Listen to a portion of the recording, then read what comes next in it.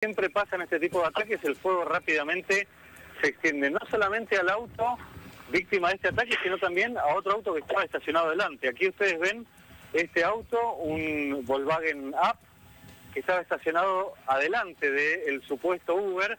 Estamos en la calle Sánchez de Bustamante, entre Rivadavia y Bartolomé Mitre, en el barrio de Almagro. Esta madrugada primero se encendió un auto marca Chevrolet Joy que estamos viendo. aparentemente prestaría servicio para la empresa Uber o estaría por empezar a prestar servicio. Ni siquiera es que ya lo prestaba, en principio estaría por empezar a prestar servicio. Sí.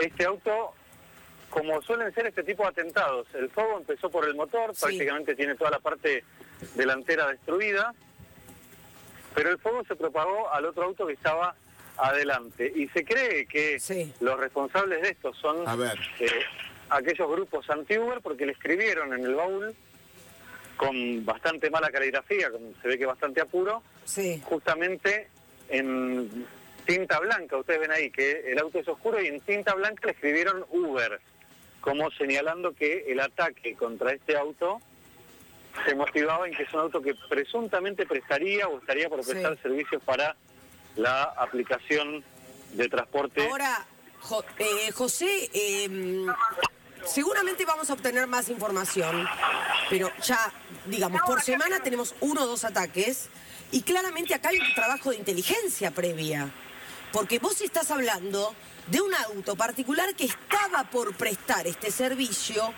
y hay alguna filtración de información que los ataca Uber, sean taxistas o quienes sean, porque los taxistas los rechazan, pero bueno, están vinculados justamente al gremio, eh, la obtienen y hacen como una justicia propia preventiva. Esto es lo grave que está pasando en plena capital federal, en pleno barrio de Almagro. Sí, es tal cual lo decís, Lorena. ¿eh? Este auto pertenece a un eh, ciudadano extranjero venezolano que hace poco está en la Argentina. Sí. Hace siete meses eh, comentó eh, que estaba en la Argentina y hacía dos meses aproximadamente había comprado el auto y estaba tramitando para ponerse él a trabajar en algún en alguna aplicación de transporte o agencia de remis, eso no queda muy claro, según el trascendido. Sí. Estaba por empezar a trabajar en alguna aplicación de transporte, no queda claro en cuál, no es menor la diferencia teniendo en cuenta que, por ejemplo, Cabify, una aplicación de transporte, es legal.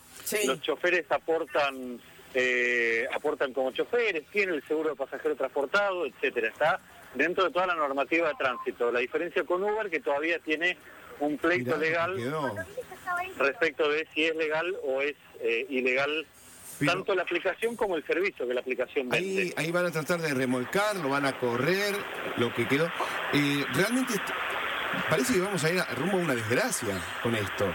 Por ahora...